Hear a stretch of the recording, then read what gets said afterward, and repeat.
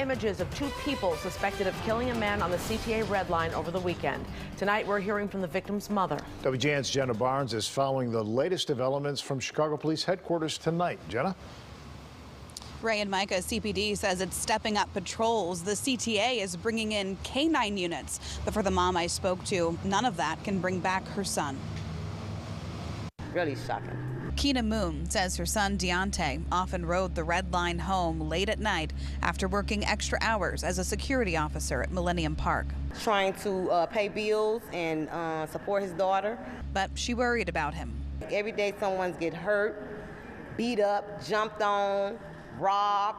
It is scary. He used to always tell me that he might get into it with somebody on a train or something like that, and I would always tell him, be safe, or I text him and say, he good, is he good? I, I was very concerned.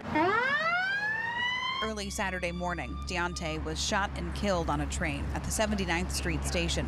He was 29 years old. Police released this video of the two suspects they're looking to identify in his murder. I want y'all to get caught Y'all hurt me so bad, so deeply bad. And I want y'all to pay for it.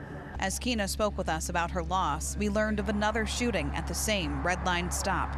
Just before 4:30 this afternoon, Chicago police say two guys shot at each other. One of them, a 17-year-old, was hit and taken to the hospital in critical condition. The other ran away. We got a lot more work to do. I, I will just tell you, this is uh, not going to be an easy task. Before that latest shooting, Superintendent David Brown addressed the rising crime on the CTA. In addition to the CTA's 250 unarmed guards, the authority is bringing back canine units. Brown says CPD has increased its presence on the CTA, and although he won't say how many officers have been added, he says police are considering reassigning administrative officers on desk duty to work the trains. We've committed to adding more and more and more resources to do whatever it takes to make sure our CTA is safe. No, it's not. It's not safe. Keena Moon now comforting her heartbroken granddaughter, who will turn eight this month without her dad. And now I got to pick up and take the place of him.